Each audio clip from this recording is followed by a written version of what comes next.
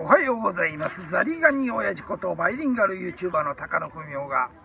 今日も皆様にコミュニケーションワンポイントプレゼンテーションをさせていただきます。今日は9月は15日木曜日ですね。今日の夜は英語でディベート論戦する会のファシリテーターを私がやることになってます。英語でやります。はい。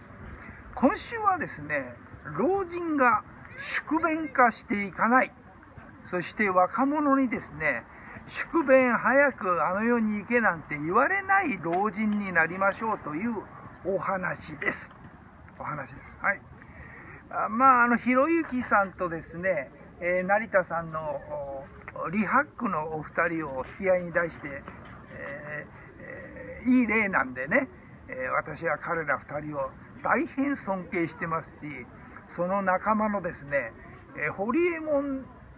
御三家だと思ってますね。今世の中を変えていく。若者が大変彼らをサポートしてですね YouTube の視聴者数は爆発してます、はい、それに対してですね、えー、老人を早く死ねだとか宿便だとか言ったなこの野郎っってですねやはり YouTuber の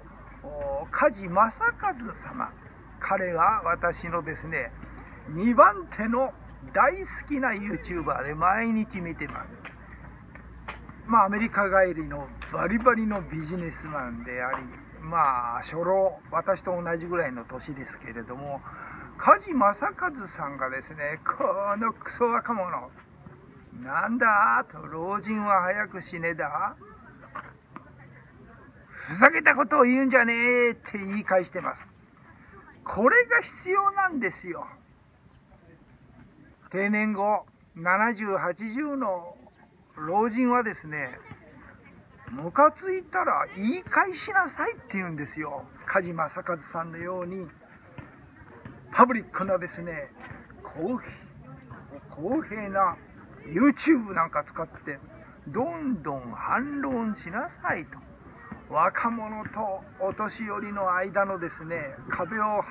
突破突破して昔の明治時代の元老院じゃないですが年取った人は知恵があるんですからいや彼ら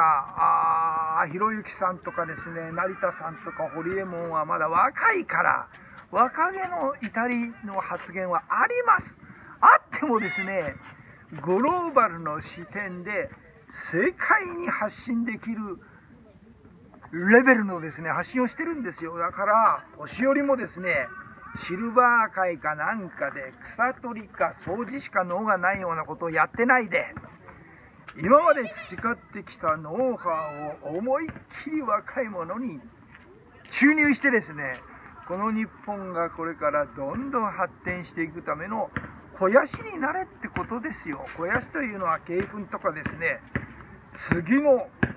クロップを作るための栄養になりなさいということなんですよ。だから私自身はですねこうして YouTube とか本は150冊世の中に出してますが YouTube で喋ったり講演をやったりですね本を書いたりして少しでも更新のためになろう更新の肥料になろうと思って頑張ってます。間違っても高野は宿便だとは言わせない。さようなら。